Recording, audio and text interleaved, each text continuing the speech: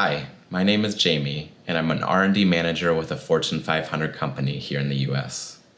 In the past year, I've been very fortunate to have achieved two of my biggest life goals. My wife and I welcomed our first baby into our household, and I've recently been promoted from working as an engineer, as an individual contributor, into a new people management role with my company. I'm now leading a very driven and passionate team performing research to figure out the best way to bring new, innovative products to the market for our consumers. In light of those positive achievements in my life, I initially felt like I'd be living and feeling the dream right away. But it was actually quite the contrary. I felt an overwhelming amount of stress in my life, and I was not able to be as present for my family and my work as I had been before these big changes.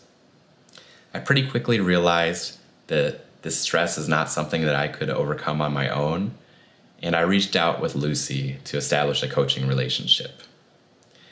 Now, this was my first time in a coaching relationship, and I wasn't sure what to expect. But in my very first meeting with Lucy, I knew it was the right choice. She helped me understand and articulate the situation that I was in and what my vision was for where I wanted to be in my subsequent meetings with her, I could tell that she had internalized that vision I had for myself as she listened to me and helped actively and gently steer me into areas of my life that I could focus to get me to that future state. I can honestly say that I've never met a better listener than Lucy, somebody who's so active in their listening and so intuitive uh, with how they steer a conversation.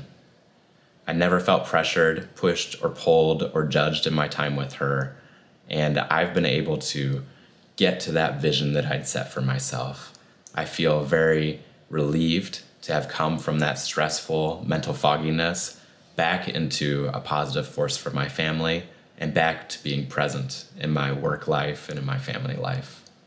I can't thank Lucy enough for this relationship, and I give everyone who's interested in coaching uh, I'd love to give you that recommendation to step into it and to build that time with Lucy so she can help you identify and get to your goals.